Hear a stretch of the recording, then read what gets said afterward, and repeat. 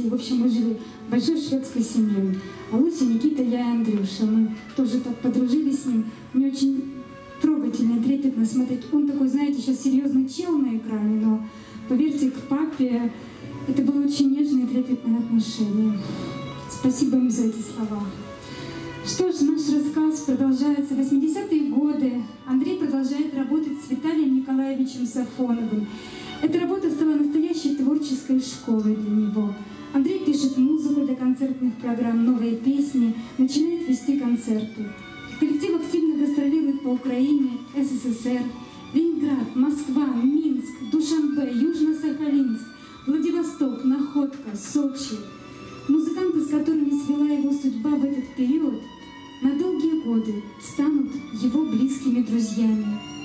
Павел Самсонов, Алла и Боря Золотухины, Виталий Николаевич Сафонов. В будущей своей работе Андрей начнет исполнять творческие номера Виталия Николаевича. День рождения вальса ко Дню Победы. Апрель, годовщине Чернобыльской катастрофы.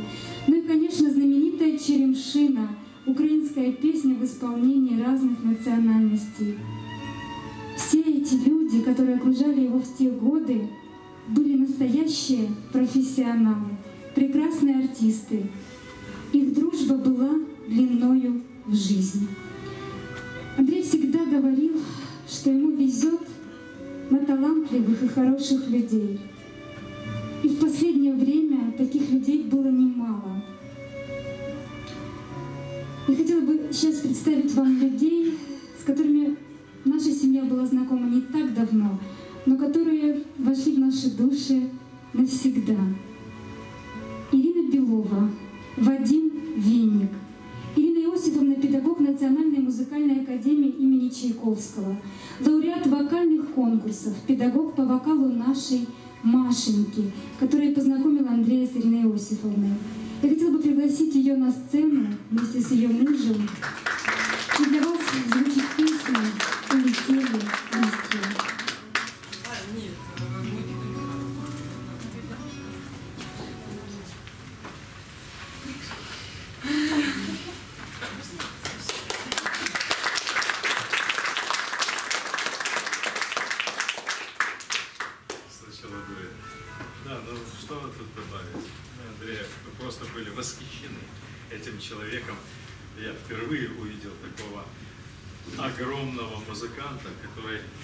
способен был освоить. Вот приезжала из Москвы Ирина племянница, она была срочно на концерт дать джазовое произведение, все на языке оригинала. Э, Вещи такие, что я их никогда не слышал, а он, у него кругозор был э, гораздо, гораздо шире моего, хотя я тоже и в КАМА работал, там и тоже прокатался, но у него ладно, было несколько таких, как я. Вот.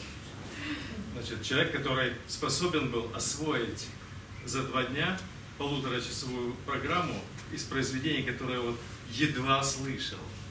Понимаете, когда-то. Знаете, это человек э, э, с колоссальным чувством стиля, который угадывал наперед э, развитие, наперед мелодию и гармонию и произведений, которые он никогда не слышал, просто угадывал, вот э, певица замолкает, да, он дальше не слышал, он дальше доигрывает, она говорит, ага, так вы знаете. Вот. И он на меня так смотрел, да, ну типа, правильно, ты знаешь, я говорю, я сам не знаю, слушай, ну да, да. Ну, понимаете, человечище, человечище. Машенька, когда она уже стала на профессиональную такую дорогу певческую, э, и она нашла, и, и начался дуэт, случился этот э, э, божественный совершенно дуэт вуаля. Э, и а мне хочется Машу все выше, выше куда-то подбросить. И э, предложила ей принять участие в первом или в третьем этом конкурсе имени Квик Сисек. И они с Андреем сделали такую удивительную, совершенно прозрачную программу. И это было так необыкновенно, особенно во втором туре, когда все поют, там орут громко, под фонограммы. фонограммы заглушают все на свете, все эмоции, все мысли. Стены дрожат от этой фонограммы, не слышно исполнителя. И тут выходят два эти перчика. Андрей с гитарой, Машенька с микрофоном. Зал затих просто, замер. И э, когда они запели песню, ее никто не узнал, во-первых, никто не понял, что эта песня вообще знаменитая, известная. Только на припеве вдруг начали, поняли, что это э, Тины Кароль песня, известная уже в каждом углу э, Украины, во всяком А, случае. те- просто певица известнее собственной песни. Ну, да. Э, Потому что в их э, интерпретации, в их исполнении песня обрела совершенно иной смысл, совершенно иное звучание. И это было прекрасно. И я очень рада, что много людей вас услышали. Я этому рада. Все. Да, творческих успехов тебе. Продолжай. Мы то, что- чувствовали такую перспективу. Во-первых, я никогда не слышал, чтобы на э, гитаре так аккомпанировал человек э, эти внутренние движения э, голосов, гармониях. То, что можно, в принципе, выразить только на фортепиано. Ну ты уже что такие профессиональные. Да, нет, ну я, я должен это сказать, потому что я, потому что я удивлен. Я был удивлен. И восхищен. Восхищен. Да, и мы, мы были реально были И восхищены. мы, да, и мы э, хотели даже, э, он говорит, у меня там немножко времени есть, может сделаем концерте какой-то из романсов. совместно. Э, Да, такой, на часок.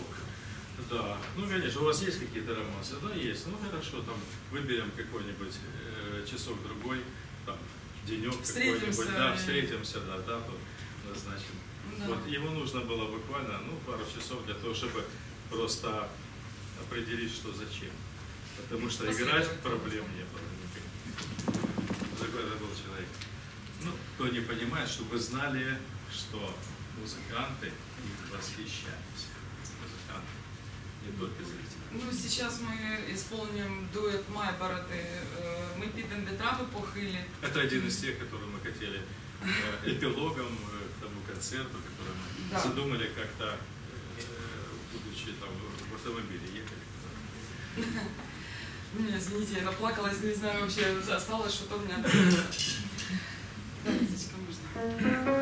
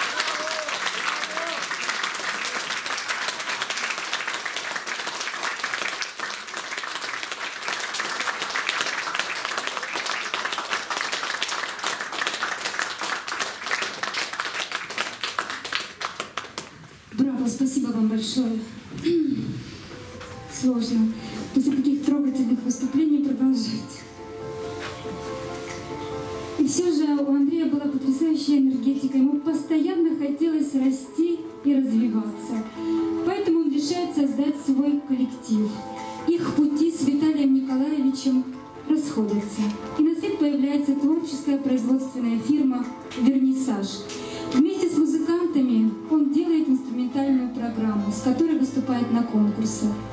А немного позже «Вернисаж» трансформируется в фольклорную шоу-группу «Казанок», со спектаклем которой Андрей гастролирует по Украине, Дальнему Востоку, Румынии. Это было незабываемое время. Время молодости, веселья, творчества. В коллектив Казанка вошли лучшие Алусины ученицы. И, конечно, другие замечательные актрисы и певицы. Одной из таких певиц была Анна Лев. С Андреем Анну связывает не только работа в Казанке, но и многолетняя дружба. Сегодня она с нами на этом вечере. И я приглашаю на эту сцену солистку фольк-шоу группы «Казанок», голос украинского Барта Симпсона, киноактрису Анну Лев.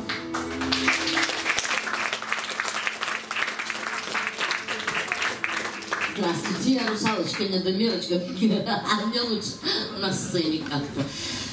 Ах, Андрюшенька, когда ты пригласил меня в Казанок, я говорю, Андрюша, а що це таке?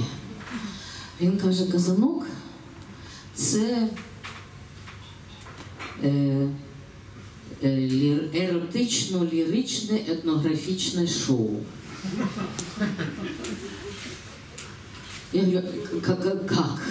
А, Что? Э, Ну, понимаешь, это смесь казанок, это смесь, каза- смесь казанова, казаностра и кастрюли.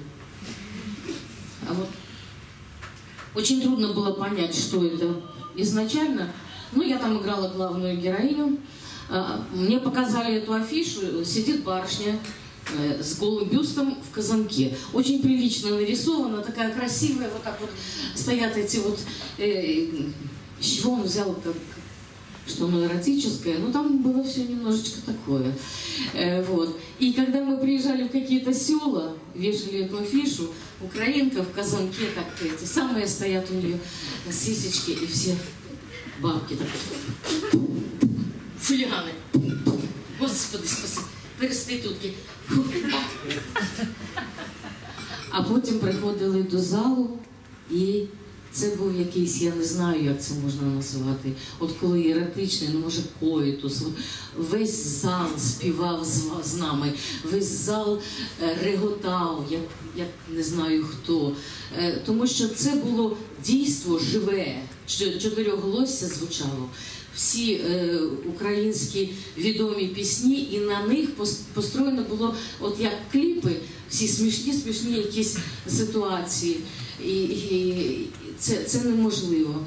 І, і ще укладено в обрядовий цикл. Уявляєте? Е, От, і нас е, важко подумати, що нас всього шестеро було, включаючи Гаврилова, звукорежисера. І ми самі таскали ті ящики з костюмами, ті стойки скручували. Е, Я падала на мороз, сказала, що у мене пространственний кретинізм, так мені нічого не довіряли. Е, От. Ну добре, хочу ще сказати, що е, я, в принципі, у той час була ліричний, психоделічно, шизофренічний панк самостійний. Я співала пісні, які е, чомусь е, дуже не сприймалися нашим керівництвом зверху. От, і об'їхали ми Чорнобилі, і в перші дні Чорнобиля я там була. І е, Андрюша казав, що треба зробити посвідчення. Я його не послухалась, так без посвідчення і залишилася. Це не важливо. Е, він почув мою пісню Колискова для мутантика, яка з, перехрестила мені всю мою е, кар'єру. Але е, дякуючи казанку етнографічно-еротичному шоу, е, цю пісню почула вся Україна. Ми об'їздили всі, всі, всі ці промерзлі клуби. Це таке страшне перед виставою, три літри самогона. Інакше не починаємо, бо холодно, холодно, страшно. І ми розігрівали зал, весь, зал цей аж скавчав, так їм було весело. І, ну, щось я дуже багато розповідаю, краще заспіваю. Я зараз не буду співати красивим голосом, бо все ж таки заспіваю любиму пісню Андрюші. Я багато була в Чорнобилі, потім мені стали снитися кошмари. і У мене були такі пісні, як Українське некрофілічне танго, демократичні оргії, колискова для мутантика.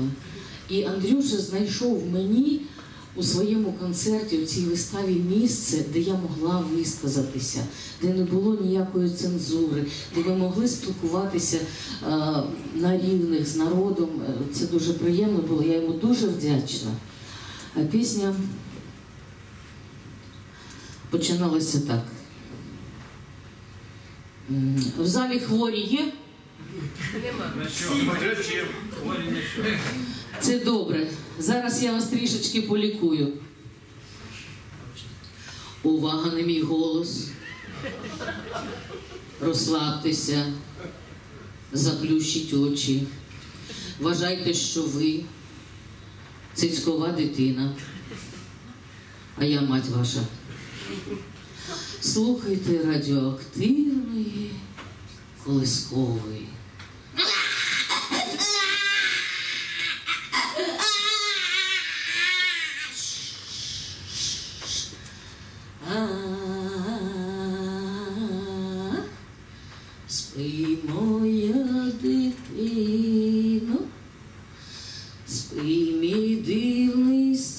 Сине, а чи може донька не знає й медицина?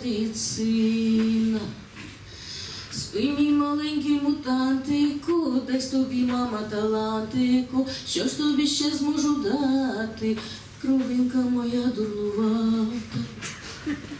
Третє оченятко дуже хоче спати.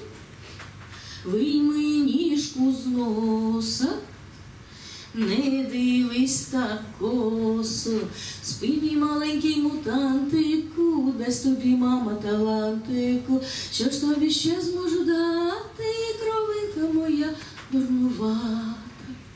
Рученята люлі, з восьми пальців дулі, не крути рідненький, мій жовто-синенький, ти мій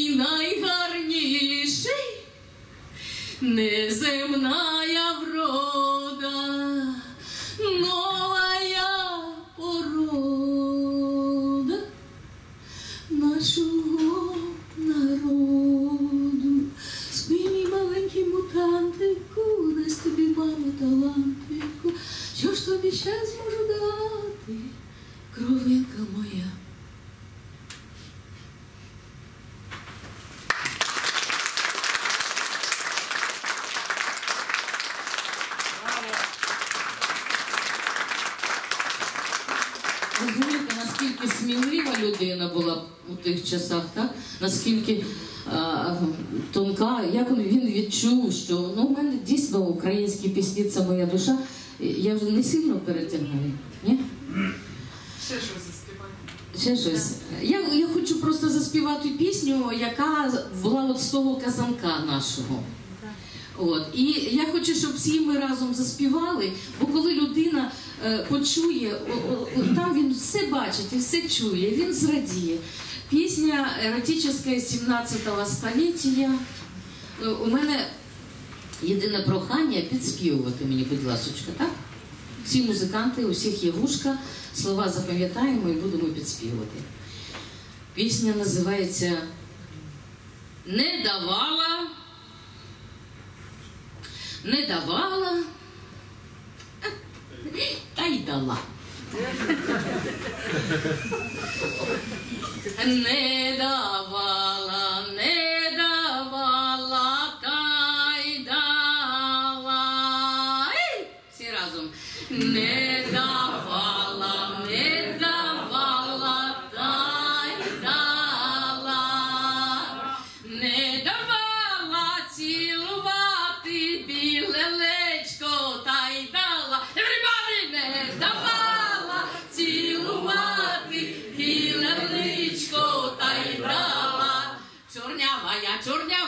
у мене, всі вместе, чорнявая, чорнявая у мене, чорнявая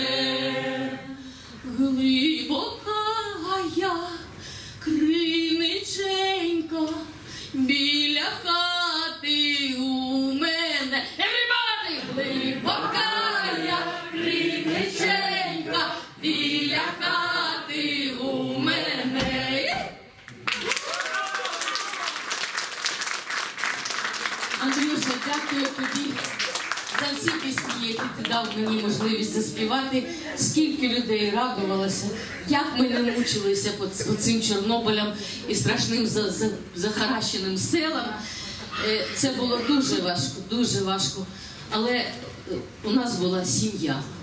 У нас татуся брала каструльки, плитку, і ми всі харчувалися, трошечки закладали. Скажу всім на завітку, бо у нас тост. Знаєте, коли багато часу проводимо разом, тости вже всі закінчилися, і у нас був найголовніший акторський тост. По предпоследній.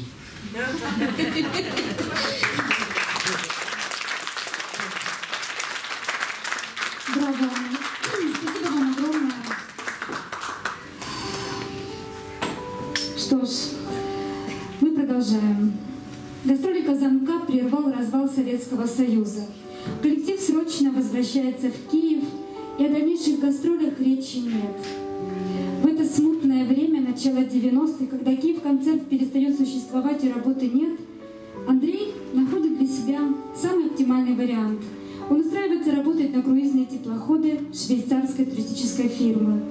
Туры проходят по Украине, Киев, Одесса и России, Москва, Ленинград. Позже его приглашают работать в рестораны в Германии и Швейцарии. Это было новое для него влечение, увлечение музыкой. Он делает музыкальную программу, в которой исполняет уже европейскую музыку, эвергрины, классические мелодии на гитаре.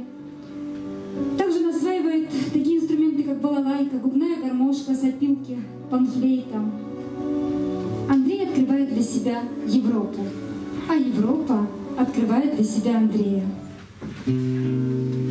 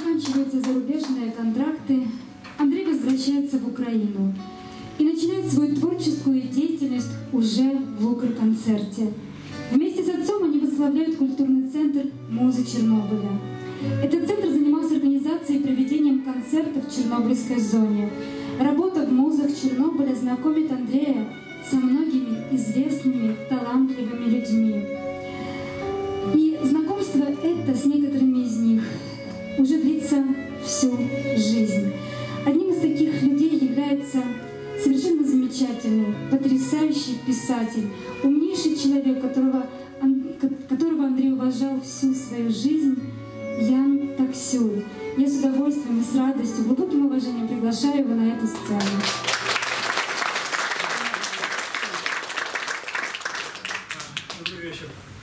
Э, Андрей говорил мне, готовлю свой авторский вечер, и спрашивал меня, придешь выступить? И я говорю, конечно, обязательно, обязательно приду выступить. Э, ну вот, сложилось так. Я думаю, что сегодняшний вечер в известном смысле творческий вечер. Вот, потому что, ну потому что потому. Э, Андрей по моей жизни так прошел Э, такой яркой такой вот э, звездой такой яркой, да, вот часть дуэта Вуаля, вот это Маша, это моя дочь, вот скажем, я являюсь папой как бы дуэта Вуаля.